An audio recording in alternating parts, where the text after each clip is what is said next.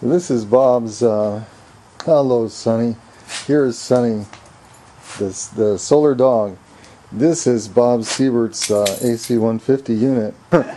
There's Sonny, the wonder dog, the solar dog. Could you explain this, um, This dog? no, this car, Bob? How do you get gas into it anyway? I tried to put, Put it right in here. I'll show you. all right.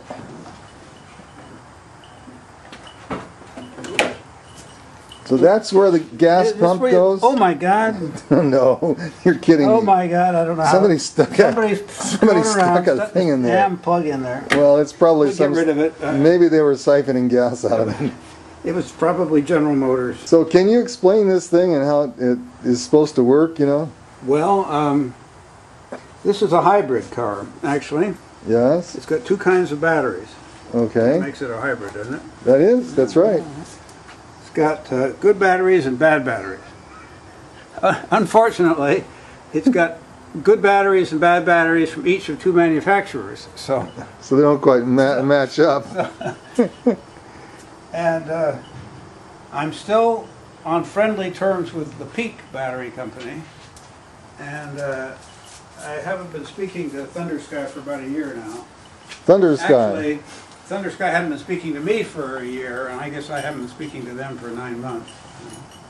Uh, can you can you explain how many of the batteries or which sort? It does look like there are two sorts of batteries in there. Yes, you're looking at both right there. Yeah. The Thunder Skies that I have are the, are the survivors of the first pack, first pack of 100, and I still have 80 of them. So 80 of the Thunder Sky are still functioning. Right, and they are currently working better than the Peak And these are the Thunder Sky here. Thunder Sky. And the Battery management systems on top of The it. battery management system, of course, is a work in progress. And these are the Peak. That's And correct. Peak Lithium, and though they aren't working as well. No, they're not. They should be, but they're not.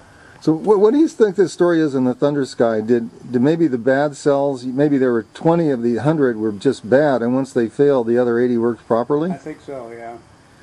And so, th- but Thunder Sky is not willing to replace those bad cells. Absolutely not. Okay, and uh, but And I think Thunder Sky, I, I'm not sure, but I, I suspect Thunder Sky doesn't make this particular model anymore because they've been touting a newer model, uh huh which is more conservative. The Thunder Skies are lithium cobalt, right and I understand, and, and the uh, peaks are lithium iron phosphate, which seems to be the way they're going, the industry is going. But they're not as energetic, but they're cheaper and safer. Yeah the the thing is they're different voltages too. Oh yeah, They're- 3.2 versus 3.7. These are the peak cells here. These are, um, see this cell leaked, Uh huh. and That's um, pretty serious. but some of them have can't see it on these have what I thought were bad welds Uh huh. and if it has a bad weld of course it'll heat up and that will Now these are um, these are flash welded like the AC propulsion stuff, so they, they Yep. have actually a surface welder that doesn't Yep. disturb the chemistry. but I'm not sure they got it I don't think they have the welding down as well as AC propulsion Each of these little batteries is is 10 watt hours. Each of these little cells, yeah so it takes 100 to make a kilowatt hour. Five of these bricks, get uh, a kilowatt hour five of these bricks to get a kilowatt hour. That's not very much because these are pretty light. Ah! Oh, sorry.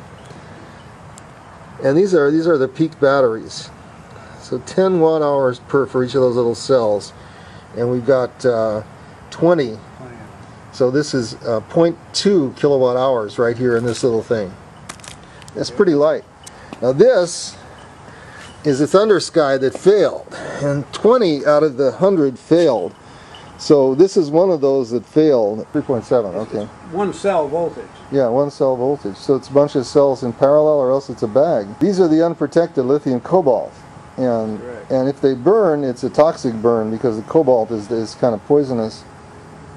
Okay, how much better would it be if we just had nickel metal hydride batteries like in the RAV4EV made available?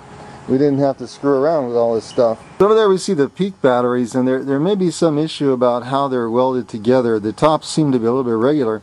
These are 80 of the Thunder Sky, and they were originally 100 Thunder Sky.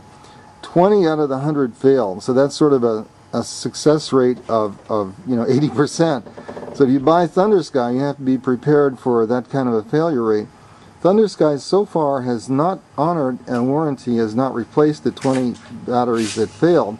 That's why we have this uh, mixed pack here, sort of a hybrid pack.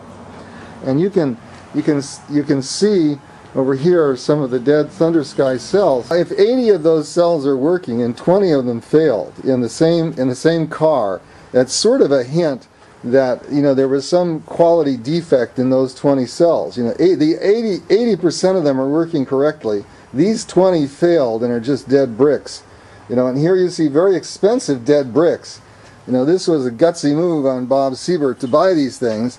But now, since Thunder Sky is not standing behind them, you know, they're they're just they're just dead bricks. And you know, I could believe that it's it's possibly somebody else's fault, but the fact that 80% of them are working and 20% are not indicates that there's de a defect in manufacturing. The ones that were constructed correctly, the 80% are working, and these are not. And so these should be replaced by Thunder Sky. So far, they have not done so. So I don't know if you can see this. These are the gold batteries, uh, the peak batteries, I'm sorry, peak batteries. These are the peak batteries. And there, there's welded copper strips across the top. But you, can see that the, the welding job is not exactly the best in the world. And the ends are not even uh, deburred on these, uh, on these cuttings.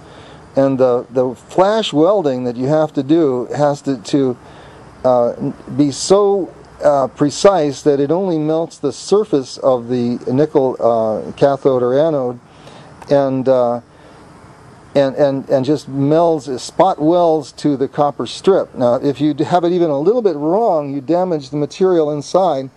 And that, we presume, is why we have, you know, a meltdown here. So once again, you know, these are a, a good chemistry that might have worked, but um, there was there was um, uh, you know probably the pack was put together a little sloppily. The ones that are put together correctly apparently you know do work.